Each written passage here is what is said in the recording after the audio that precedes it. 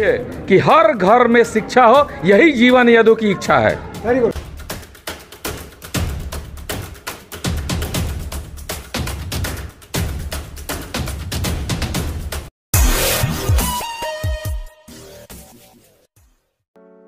शिक्षा के क्षेत्र में लगातार बेहतर प्रयास होते आ रहे हैं और युवा भी अब शिक्षा के क्षेत्र में एक बेहतर विकल्प के साथ ही साथ लोगों को जागरूक करने व शिक्षा के प्रति प्रेरित कर रहे हैं। इसी क्रम में शांति इंटरनेशनल स्कूल के तीसरे ब्रांच का भव्य शुभारंभ समाजसेवी जीवन यादव के द्वारा किया गया। इस मौके पर मोनू कुमार, जो शांति इंटरनेशनल स्कूल के डायरेक्टर हैं, उन्होंने कहा कि सभी पूरे ज़िले में शिक्षा की अलग जगाना ही उनका उद्देश्य है और Shanti, educational and social welfare trust का इसमें भरपूर सहयोग मिल रहा है। वहीं इसका भव्य शुभारंभ कैल बाज़ार टोला नियर एयरटेल टावर ज्ञानी मोड़ सिवान में हुआ। वह इस मौके पर गाड़ियों के काफिले के साथ जीवन यादव पहुँचे और उन्होंने कहा कि जीवन यादव का सपना है कि हर घर में शिक्षा पहुँचे और इसी उद्देश्य को मोनू कुमार भी साकार कर रहे है। क्या है कि आप लगातार शिक्षा के क्षेत्र में और खेल के क्षेत्र में अपना मुकाम हासिल करते जा रहे हैं, लोगों को प्रेरित करते जा रहे हैं। ये सबसे पहले हमारे शांति इंटरसे स्कूल की एक सपना है। हर घर शिक्षा, शांति शांति इंटरसे स्कूल की सपना ही है। यही सपना है कि हर ज़रूरतमंद व्यक्ति, हर गरीब के हर बच्चा शिक्षा ही हासिल कराना मेरा फ़र्ज़ है। क्योंकि आज पूरे देश में विकास का नहीं हो रहा है, जिसके कारण ये है कि शिक्षा नहीं है। आज गाँव समाज में जाइए गाँव में जाइए देहात से देहात क्षेत्र में जाइए वहाँ शिक्षा की बहुत कमी है। वहाँ बच्चों की पढ़ा अच्छी व्यवस्था नहीं मिल पाती है पढ़ाई के लिए जिसके चलते हमारा शांति इंटरनेशनल स्कूल अपने सारे विद्यालय में हर जगह एक अच्छी व्यवस्था के साथ स्कूल चलाते हैं और हर एक ज़रूरतमंद की सोच के लिए हम लोग स्कूल चलाते हैं। जो गरीब छात्र होंगे उनके लिए भी कोई आप देंगे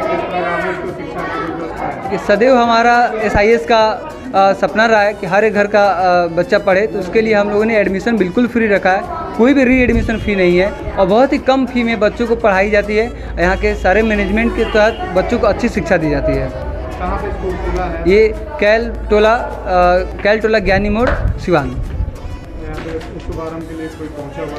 मुख्य अतिथि? में श्री जीवन यादव जी थे समाज सेवी और रूपल आनंद मानवाधिकार के अध्यक्ष हैं और अंतर्राष्ट्रीय मानवाधिकार और विकास सर थे और भी बहुत सारे गेस्ट आए हुए थे। आसपास कितने क्षेत्र के लोग हैं उनसे क्या आग्रह करेंगे? उन सभी से यही आग्रह करते हैं कि शिक्षा के लिए आप हमारे साथ खड़े रहिए हम हर घर शिक्षा पहुंचाएँगे।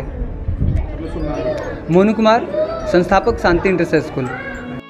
कि हर घर में शिक्षा हो यही जीवन यादव की इच्छा है। पहले तो हाथ जोड़ के प्रणाम करेंगे और एक बात यहाँ के समस्त जनता से आग्रह करेंगे जो हमारे मोनू सर है उन्होंने यह एक शांति इंटरनेशनल स्कूल का आज शुभारंभ किया।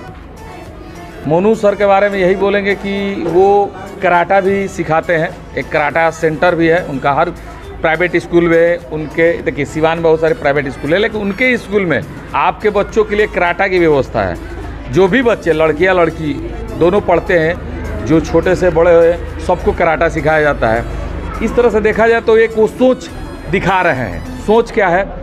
कि बच्चे एजुकेशनल तो होना ज़रूरी है, स्वावलंबी होना भी ज़रूरी है, अपनी सुरक्षा स्वयं करने की व्यवस्था भी होना ज़रूरी है। जो इनके स्कूल में उपलब्ध है तो हम यही कहेंगे मोनू सर से कि तीसरा ब्रांच है, हम लोग उद्घाटन किए, हम चाहेंगे कि ये तीस ब्रांच खोले और हमारे ज़िले के जो छोटे बच्चे हैं, उनको ऐसे ही शिक्षा प्लस स्वस्थ, स्वास्थ्य की तरफ़ और सुरक्षा अपना स्वयं करें, इसके लिए प्रेरित करें। और हमारे जो भी यहाँ के मुखिया है, प्रतिनिधि है, हमारे चचा गार्जियन है, हमारे मित्र रूपल आनंद जी और ये लोग सभी लोग आए हैं, सबको धन्यवाद।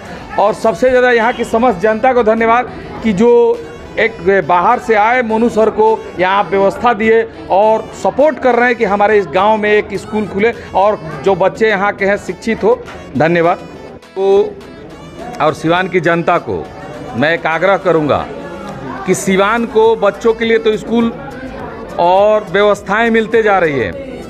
जो हमारे बच्चे हैं, जो वन से लेके टेंथ तक पढ़ते हैं, जो थोड़ा और इच्छुक होते हैं, वो इंटर तक पढ़ते हैं। लेकिन इंटर के बाद वो बच्चे पढ़ाई छोड़ देते हैं। इसका एक ही कारण है। एक ही कारण है कि यहाँ कोई यूनिवर्सिटी नहीं है और यूनिवर्सिटी नहीं होने के चलते यहाँ के बच्चे छपरा यूनिवर्सिटी से affiliated DAV college Islamia college जैसे कॉलेज में पढ़ते हैं और तीन साल की जगह छः साल में ग्रेजुएशन कंप्लीट करते हैं। जो बच्चे तीन साल के लिए थोड़ा बहुत पैसा, जो वीक फैमिली से हैं, तीन साल मेहनत करके पढ़ना चाहते हैं, लेकिन वो छः साल में जब कोर्स कंप्लीट होगा तो उन बच्चों का मनोबल टूट जाता है। इसीलिए हम सिवान की जनता से आग्रह करेंगे कि सिवान को एक यूनिवर्सिटी चाहिए ही चाहिए। इसके लिए आप अपने बच्चों के भविष्य के लिए लड़िए लड़िए। और सिंबल और सोच की लड़ाई में सिंबल और सोच की लड़ाई में सोच को जिताइए और तब देखिए कि सिवान को यूनिवर्सिटी मिलता है कि नहीं। धन्यवाद शिक्षा स्वास्थ्य लेकर पहल करते रहते हैं। कितना सहयोग रहेगा यहाँ के बच्चों को मोटिवेट करने में और जो स्कूल खुला है और जागरूक करने में जी सर। पहले तो आपके चैनल का धन्यवाद और हमारे तरफ़ से और जनता की तरफ़ से बहुत बहुत बच्चा का सहयोग मिलेगा और ये हमारे जो प्रिंसिपल साहब हैं उनको भी सहयोग मिलेगा। अपना नाम बता दीजिए रंबा लक्ष्य सर। कई स्कूल खुलते रहते हैं लेकिन कुछ खासियत के साथ कुछ स्कूल खुलते हैं। इसमें क्या कुछ खास रहेगा? गरीबों के लिए भी क्या कुछ उपलब्ध रहेगा? सबसे पहले तो आपके चैनल के दर्शकों को सूत्रागरों को धन्यवाद बधाई देना चाहते हैं और आपके चैनल को भी शुभकामना बधाई देना चाहते हैं। देखिए मोनू सर ने इंटरनेशनल शांति स्कूल यहाँ पे खोले हैं तीसरा ब्रांच है। बहुत खुशी हुई। शिक्षा से ही समाज का विकास किया जा सकता है। और जब तक हमारे में समर्पण सेवा भाव नहीं रहेगा, तब तक हम समाज के लिए कुछ नहीं कर सकते हैं। और देखिए, सेवा पैसे से नहीं होता है, सेवा दिल से होती है। तो मोनू सर का एक है कि सेवा शिक्षा के साथ साथ जो महिलाओं को, बच्चियों को, ये मैंने देखा अभी कराटे में क्या फ्लुएंटली कराटेबाजी कर रही हैं महिलाएँ बच्चियाँ, और आत्मनिर्भर बनी है, आत्मरक्षा। पढ़ाई के साथ महिलाओं को आत्मरक्षा सिखाना चाहिए।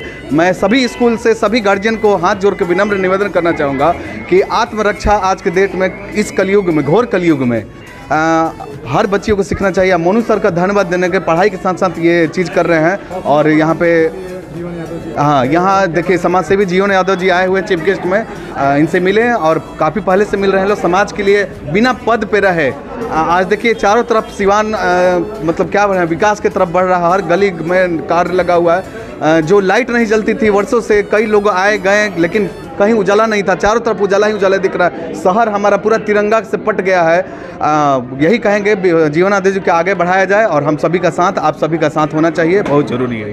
मैं ये सभी लोगों का आभारी हूँ। आज जीवन सर आए हमारे यहाँ। हम लोग बहुत खुशी हुआ और ये मास्टर साहब मोनू सर हैं। विकास की तरफ़ और शिक्षा की तरफ़। सबसे ज़रूरी चीज़ शिक्षा है आज के दौर में। हम लोग यही कहना चाहते हैं ये सर रात दूना दिन रात चौगुना दिन दूना एकदम तरक्की करें। बहुत ज़्यादा से ज़्यादा स्कूल खुल सके हम लोग कहीं में। सहयोग रहेगा सहयोग एकदम मेरा ही है ये सारा कुछ हमारा ही है हम इसमें साथ में है इनके। नाम मेरा नाम मोहम्मद जहीरुद्दीन है ये बिल्डिंग हम ही बना है ये अपना ही है मैं इनको हम लोग साथ में मिलके चल रहे हैं।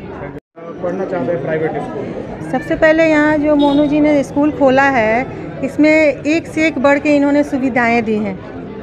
और इसमें एक से एक बढ़ के सुविधाएँ दी हैं। और हमको लगता है कि ग्रामीण में ये जो स्कूल खुला है ये बहुत आगे जाएगा क्योंकि ये सुविधा अभी शहर के स्कूल में भी नहीं मिल रहा है। बहुत सारे स्कूलों में जो है सेल्फ डिफेंस के लिए अलग से टीचर रखना पड़ता है लेकिन खुद ऐसे सेल्फ डिफेंस सिखाते हैं तो फ़ायदा मिलेगा बच्चों को? बहुत फ़ायदा मिलेगा फ़ायदा मिलना ही है। आज ही हमको दिख रहा है कि कितना हम स्टेज पर देखे हैं एक से एक बढ़ के एक परफॉर्मेंस देखे हैं बहुत फ़ायदा मिलेगा। तो नाम बता मेरा नाम सीमा तिवारी है मैं सोशल वर्कर सिवान से हूँ।